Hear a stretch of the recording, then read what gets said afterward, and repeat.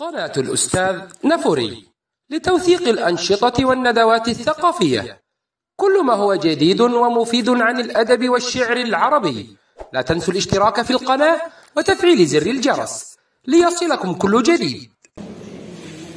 أدعوكم أيها الأحبة الكرام إلى سفر آخر سفر علمي هذه المرة مع تصكعات في خرائط التين ديوان الأستاذ نور الدين درار ومع مقاربة سيطلعنا فيها سعد الله الربيعي على خرائطية درار خرائطية درار على هامش ديوان تصكعات في خرائط التين أستاذ الدكتور عبد الله الربيعي أستاذ باحث من أعماله نسيج العنكبوت قراءة في قصص الأنبياء رواية نوارة وله قيد الطبع محكيات العروة الوثقى في أخبار الحمقاء رواية الرقيم الأخير إضافة إلى عدة مقالات منشورة في مناظر مختلفة. إذا لنطلع على خرائطية دراسة بصوت الأستاذ الدكتور عبد الله الربيعي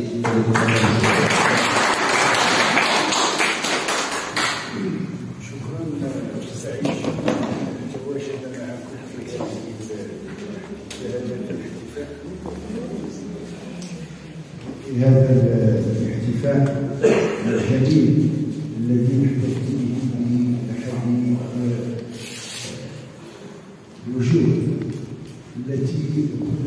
اتسعت الرؤيا فيها ضاقت العبارة. ولا أستطيع أن أقول أكثر مما قاله زملائي فيه وله في القلب مسكنا علمت داخل جهاتي في خرائطية الدراسة وكارتوغرافي الدراسة أن تكون مبدعا خرائطيا الكرياتور كاردوغراف معناه أن تمتلك حسب وصف مؤسس لهذا النوع من النقد. أن تمتلك رؤية للفضاء الأدبي بما هو تمكن ما للمكان والزمان.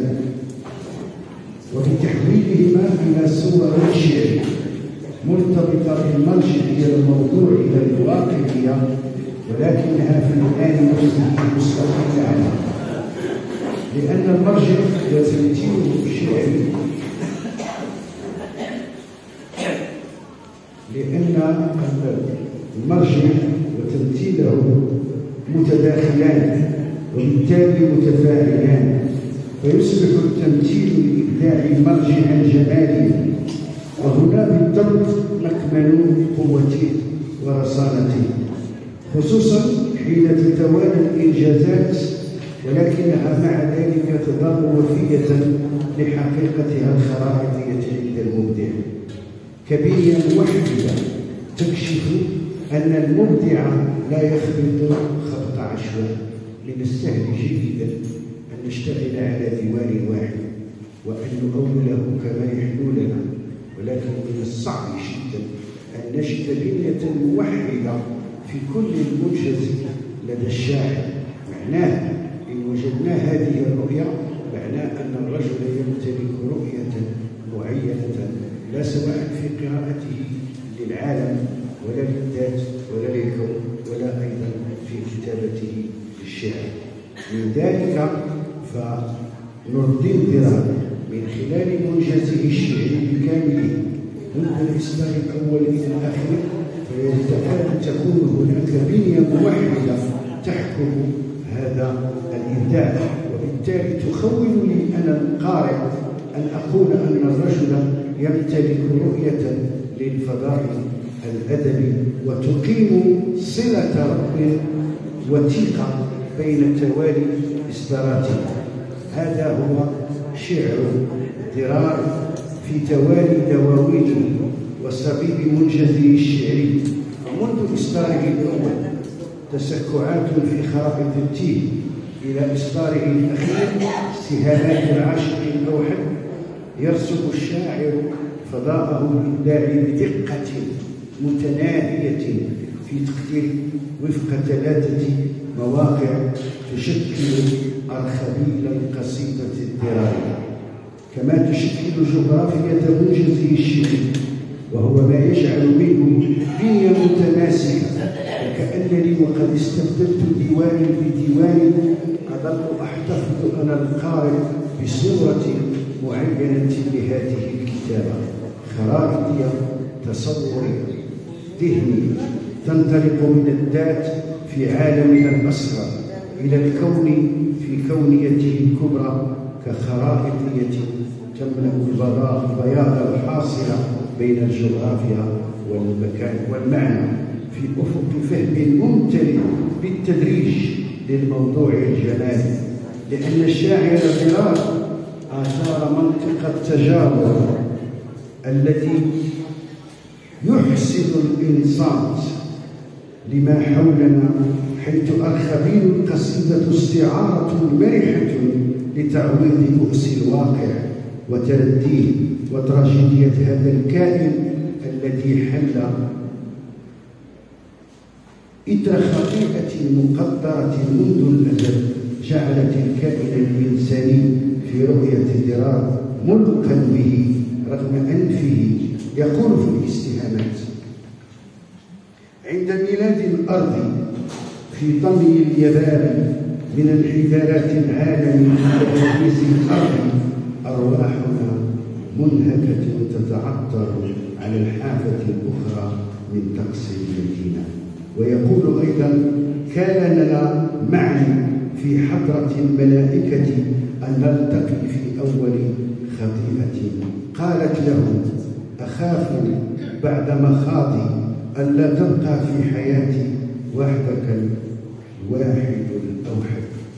رجل وامرأتان في منجز الدرار يتكلمان في عزلة كينونتنا في تأملات الدرار الشاردة الحرة يتكلمان للاعتراف برغباتهما للتقارب بين بعضيهما في حفظ الطبيعة من المزدوجة المطمئنة المتناغمة على حد تعبير بشرى وهو الحوار الذي يكاد لا يخلو منه منجز الضرار هذا الحوار الذي يجعل من الكتابة عند ضرار ليس شعرا بل تداخل الأجناس فيها القيم السردية وفيها القيم المسرحية وفيها القيم الشعرية فتكاد تكون ملتقى أجناس.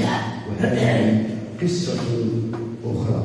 بكل اختزال متعسف أقول يتوسع منجز الضرار إلى ثلاثة مواقع تكاد تكون في كل الدواوين.